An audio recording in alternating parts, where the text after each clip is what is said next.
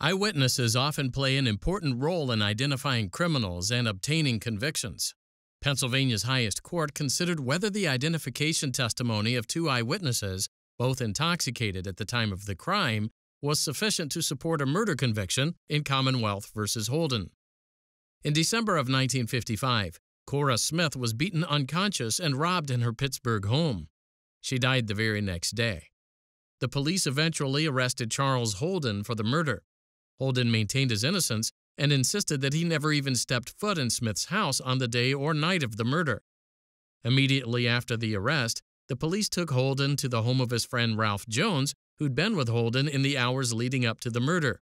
There, the police questioned Jones in Holden's presence. At trial, Jones testified that he thought one of the officers saw Holden wink at Jones while the police were questioning him. Jones further testified that he didn't know whether Holden had actually winked or simply blinked because of something in his eye. But when asked about a statement he previously made to the police, Jones admitted that he thought Holden was winking so that Jones would make up an alibi for him.